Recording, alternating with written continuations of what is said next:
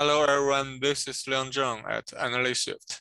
Today I'll present a nonlinear viscoelastic viscoplastic constitutive model for epoxy polymers.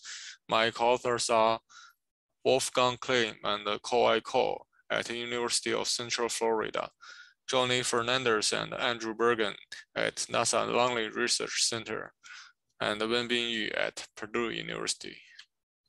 Our motivation includes Deployable composite booms may undergo permanent shape changes after stowage.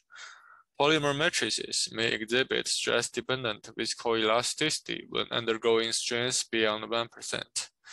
It is then necessary to in investigate the nonlinear viscoelasticity and viscoplasticity of polymer, polymer matrices.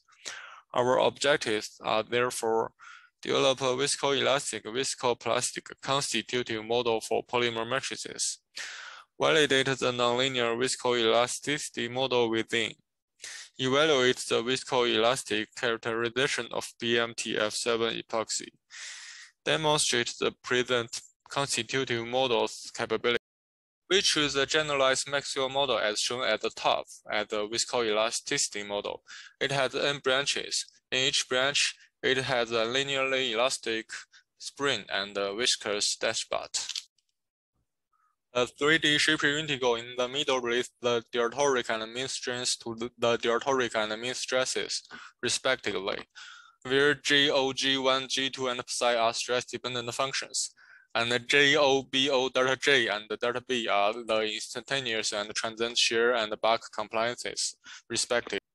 Lai and Bakker assume that all stress-dependent functions remain constant over each small time interval, as shown at the bottom left, while we allow all stress-dependent functions to be piecewise linear, as shown at the bottom. Initially, we must switch the integration scheme between the forward and the backward Euler method, while currently we just need to use the forward Euler method itself, making time integration accurate and robust. We introduce the von stress as shown at the top.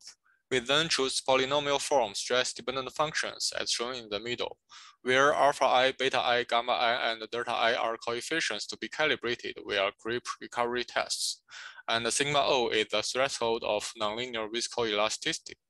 We can obtain the bottom equation using the chain rule and the change of variables.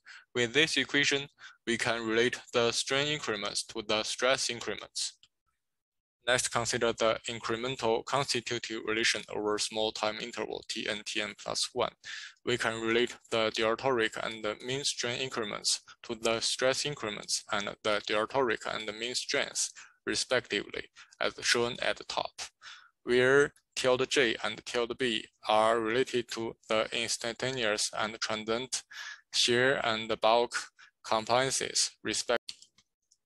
We can then obtain the incremental constitutive relation by reorganizing the top equations, as shown at the bottom. The bottom equation relates the stress increments to the strain increments and the strength, where tilde C is the tangent stiffness and depend on tilde J and tilde B. So far, we have developed the improved nonlinear viscoelasticity we can then simulate creep recovery tests using incremental analysis. Consider the loading path as shown in the top figure. Initially, we used the two-stage time integration. Specifically, we used one step in zero second during loading, 100 steps in 1800 seconds during creep, one step in zero second during unloading, 200 steps in 3600 seconds during recovery. We used the forward Euler method during unloading and the backward elsewhere. We then use a four-stage time integration. Specifically, we used 100 steps in one millisecond during loading and unloading, and the same elsewhere. We used the uh, forward Euler method throughout the simulation. We'd like to evaluate which option is better. This slide shows the creep responses of PMMA where the black curves are experimental by Lai and Bakker, and the red curves are predicted. As can be seen, four-stage time integration better reproduced the test data than two-stage time integration. Next, consider the predictions by four-stage time integration. The predictions for 15 megapascal and 20 megapascal match the test data. This indicates that the predictions without stress dependence are very accurate. The other predictions slightly deviate from the test data. This indicates that without stress dependence, the present viscoelasticity model produces small numerical errors. This slide shows the recovery responses of PMMA. Similar conclusions can be drawn from these two figures. Next, consider the predictions by four-stage time integration. The predictions for 25 megapascal intersects those for 15 megapascal and 20 megapascal. This indicates that when viscoelasticity shifts from linear to nonlinear, the accumulation of errors may cause inconsistent predictions. This slide shows the creep recovery responses of PMTF7 epoxy, where the black curves are experimental and the red curves are predicted by four-stage time integration. PMTF7 epoxy is a toughened epoxy widely used in high-strength composites. We calibrated its viscoelastic parameters via a series of creep recovery tests and used them in our simulations. As can be seen, the predictions for 15 megapascal and 75 megapascal match the test data. The other predictions slightly deviate from the test data. One cause of the discrepancy is the accumulation of errors.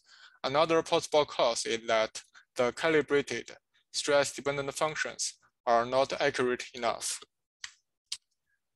In the viscoplasticity model, we choose the Drucker-Prager yield function, whose yield surface is conical as shown on the left. We introduce stress measure beta, which equals the stresses minus the back stresses. The yield function at the top depends on the mean and von Mises measure of beta. Stress measure R related to the isotropic hardening coefficient alpha depending on the tensile and compressive yield stresses. When alpha equals zero, the yield surface degenerates to the cylindrical von Mises yield surface, as shown on the left. We choose isotropic and kinematic hardening laws as shown in the middle, where Q, B, C, and A are hardening variables, and V is the accumulated viscoplastic strain. We choose the Perzyna viscosity function as shown at the bottom, where delta V is proportional to the viscoplastic strain rate, and gamma and n are viscosity parameters. The greater overstress F, the greater the viscoplastic strain rate. We use radial return for time integration. Suppose that we are in the viscoplastic domain at Tn.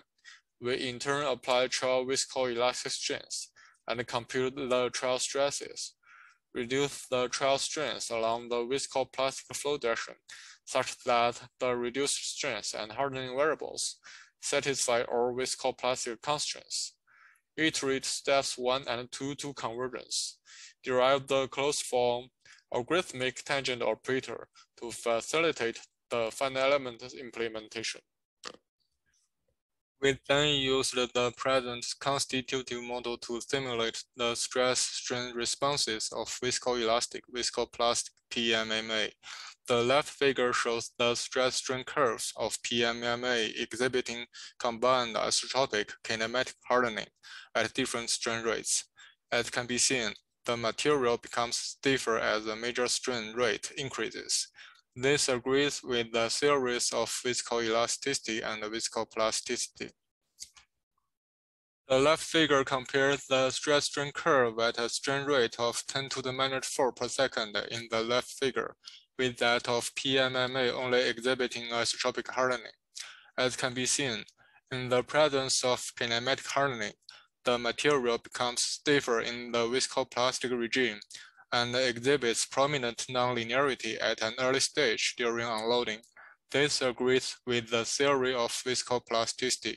In conclusion, the improved viscoelasticity model, along with four-stage time integration, is accurate and robust and better reproduced the experimental creep recovery responses of PMMA than two-stage time integration.